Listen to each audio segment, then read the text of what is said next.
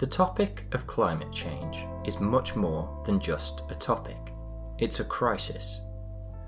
India's capital city has declared a health emergency because of intense air pollution. Britain's countryside is drowning in plastic. Environmental pollution contributed to the deaths of about 9 million people in 2015. The air in New Delhi is so toxic, people are being warned to stay indoors. Big industry is at the forefront of blame. The poster boys for the cause of climate change are the oil companies and plastic producers who operate globally. Whilst they are not helping matters, it's important to ask ourselves are we helping either? We can't just blame large businesses and then do away with any responsibilities ourselves.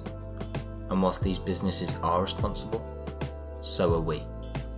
As I was looking for a professional insight, I spoke to Environmental Protection from Stafford Borough Council to try and find out more about the impact we are having on our local environment and the ways we need to adapt. A good amount of the harm environmentally and in terms of climate change in terms of preloading the atmosphere with carbon was done historically. And the Midlands, uh, Cannock, Stafford, Stoke-on-Trent, all contributed very significantly. Yeah. Um, for, you know, Stoke-on-Trent with the pottery industry, Yeah, the coal yeah. mines, the steel industry. Uh, it, it's hard to paint an image of an individual having much of an impact internationally and globally 7.7 billion. That's the number of plastic water bottles that the United Kingdom gets through each year.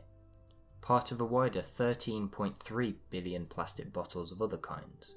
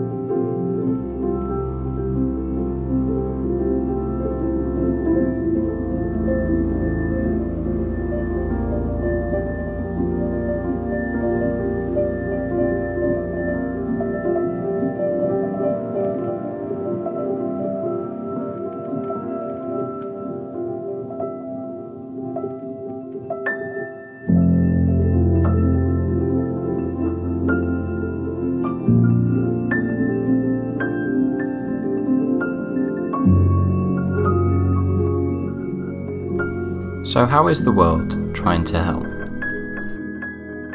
It's important to consider how the private sector may be helping to advance eco friendly living, and if they are able to move us forward more than our own governments. it actually the private industry is going to be the saviour here. I don't feel that there's a significant lead from national governments. I think ours is one of the better ones, Yeah. but national governments as a whole to actually uh, face reality. Mm. Uh, what here is an opportunity for the businessmen and the business people to actually develop the Tesla type products, the battery storage, the energy production, the energy storage and handling, and lower energy consumption equipment. Yeah. This is where they make the profits. This is the future now. Cars are a major impact to Earth, one of the most convenient forms of transport which is readily available, albeit at a price. In the UK, we drive over 12 million diesel cars. Electric cars don't even reach 3% of that. So, do people really feel like making that move? I conducted some primary research into our opinions on climate change and looked into whether people are ready to switch to greener transport. But when asked, many people said that they didn't feel that the infrastructure was there to support the use of electric cars as part of an everyday life. This inconvenience seems to be a major reason for our inability to shift in the direction of more eco friendly vehicles. the government should start to take a lead on the nature of car ownership Okay. so that they become more accepted to the younger generation and they can then lead the way actively um, because suddenly it'll be desirable to have the latest electrical car. It's cheaper perhaps to pass the test in an electric car. Right, They're yeah. going to be cheaper to run and cheaper to maintain anyway. I, I see infrastructure going in in terms of electrical cabling, but very little in terms of incentivisation for people. The public may feel that the waiting time for an electric vehicle to charge is not ideal. It seems to be a step backwards that many people don't want to take. Is that even all the options we have, or are there other ways to drive renewably? There are concepts in uh, for electric vehicles now to have a standard battery. Yeah. So a bit like you'd swap a battery in your mobile phone. You pull up at the petrol, uh, pull up at a station, and you pick up a fully charged battery, Right, and that takes minutes. And you leave the old battery behind Hmm. To be charged up.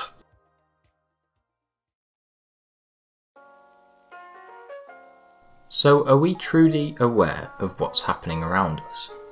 Are climate protection efforts prioritised enough? Or do we need to wake up and realise that things need to change? It seems that rather than blaming any one group, whether that's people, industry, government, or any others, it's rather a matter of working together, having infrastructure provided and ensuring that we move towards using it. This, hopefully, will help to save the planet and it will help to save us. Do you strongly feel that society can turn things around and climate change really can um, be reduced and, and the issue can be diminished? Or do you think it's almost a lost cause? this is more my uh, personal view than anything else, I suppose. It's only a matter of time before the consumers of the world realise that that actually we're not isolated. We, can't just stand, you know, and, and eat and drink and consume uh, forever. That there is a cost to it, and it isn't until that cost comes knocking at the door Yeah. um, that, that people wake up.